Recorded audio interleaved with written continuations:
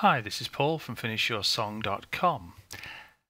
A couple of weeks ago, I posted a video looking at how to sidechain the Waves Vocal Rider, and there's been a couple of comments on YouTube asking if it's possible to copy the automation for the Vocal Rider to the main channel fader so that you could then remove the Vocal Rider from the channel uh, and save yourself a bit of processing power. Well, my initial reaction was no, you can't do it because the vocal rider writes, like all plugins do, writes to its own parameter channel. But then I had to think about it and I found a way to do it. And this is how you can do it. So we've started out, this is Jessica Ripka's Thank You for Breakfast, which was the song that I used to illustrate. And what I'm going to do is I'm going to write a bit of automation and then I'm going to remove the vocal rider and you'll actually see the channel fader here do its own thing. Now to write vocal rider automation you have to engage the read and write on the channel that you want to write the automation to in Cubase you have to engage read sorry you have to engage write on the vocal rider but you need to leave the vocal rider plugin open whilst you write the automation why? I don't know, but that's what it says in the manual. So here we go. We'll just copy the first verse and you'll see the automation being written. I bought a house and filled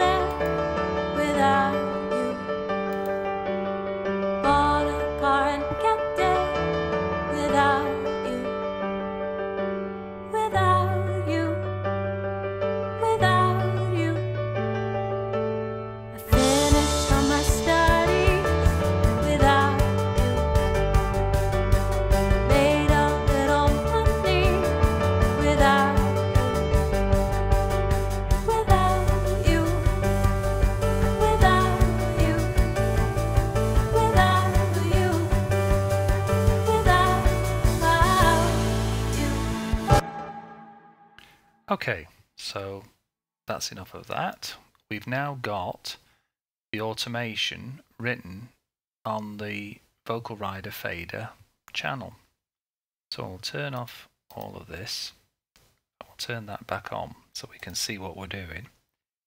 I've set the cursor to there and I'll just highlight those and I'm going to do Control C to copy I'm going to move up to there and I'm going to do control V and as you can see there's the automation on the volume lane. It's as simple as that. So what we'll do now to prove the point is we'll turn off the vocal rider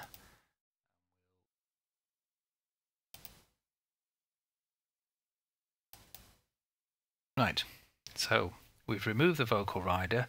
We've got rid of the automation lane because obviously we've got rid of the plugin that it's associated with. Go back to here, press play, and lo and behold.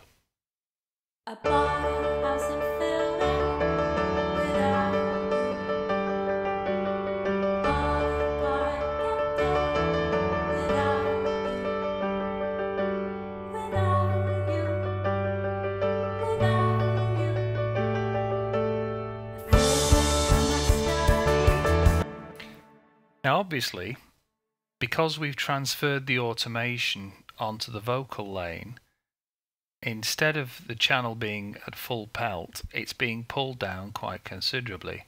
So what you'd have to do is take those and scale, no, not scale, move them vertically so that you get a more approximate vocal level. I bought a house and filled it without you. Bought a car and kept it without you. Without you. So it's not without its problems and it's not as straightforward as you might want, but it's doable. And that, I think, is the workaround that I can offer. The interesting thing, of course, is that this wouldn't be simply confined to the vocal rider. You can cut and paste automation from one lane to another regardless of whether the automation that you're copying and the place that you're pasting it to really makes sense. So you have a lot of creative freedom there to copy automation around between different lanes on different tracks. There you go. Until next time, take care of yourselves.